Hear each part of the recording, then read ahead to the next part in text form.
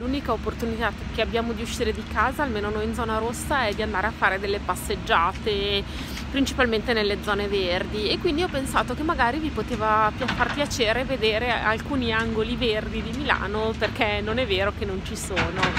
Dietro di me, per esempio, vedete il bosco verticale e poi adesso vi porto a spasso per la biblioteca degli alberi che è un parco nuovissimo. Infatti gli alberi sono ancora abbastanza bassi però diamo tempo al tempo.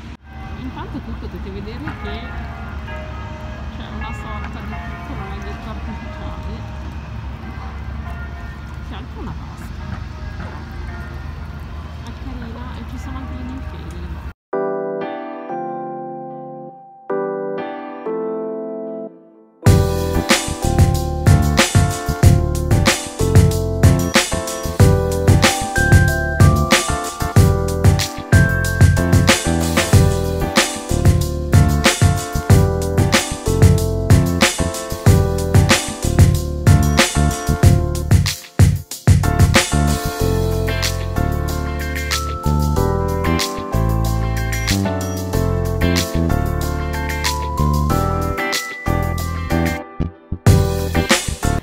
tappa di oggi ci porta ai giardini Indro Montanelli, questa è la statua, che a dispetto del nome sono il parco pubblico più antico di Milano e furono progettati nel 1700 dall'architetto Pier Marini. Adesso vi faccio fare un giretto, questo è anche uno dei poli museali di Milano perché in fondo si trovano il Museo di Scienza Naturale, il Planetario e invece appena fuori ci sono la Galleria di Arte Moderna e il Padiglione di Arte Contemporanea.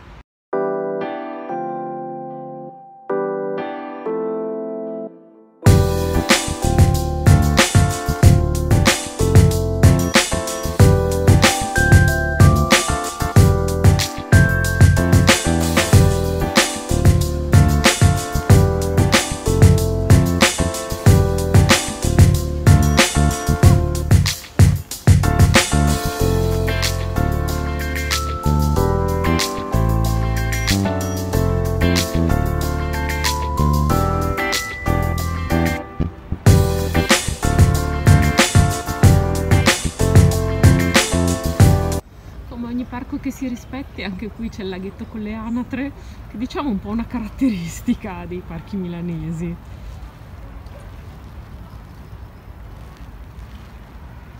E probabilmente questa specie di fiumiciattolo è anche pieno di carpe.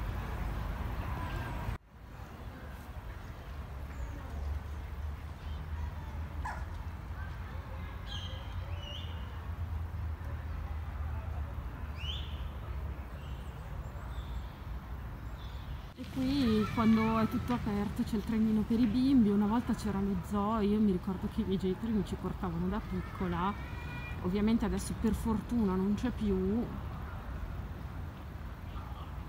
è rimasto il trenino, che ovviamente è aperto nei periodi non covid.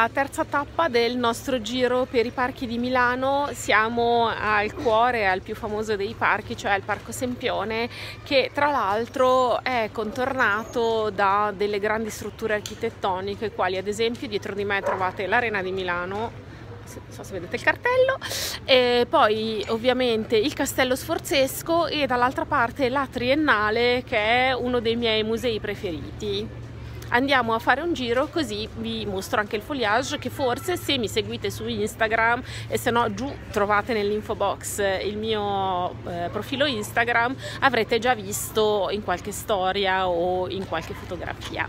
Partiamo!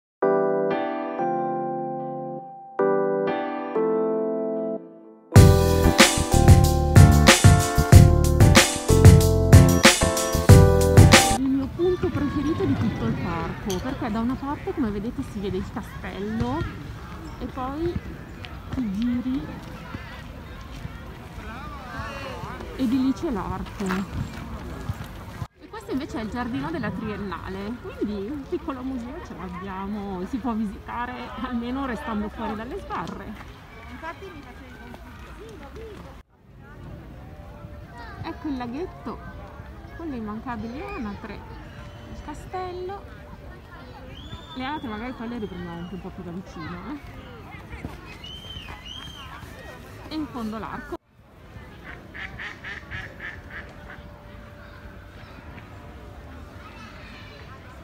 angolo romantico del parco in Ponte delle Sirenette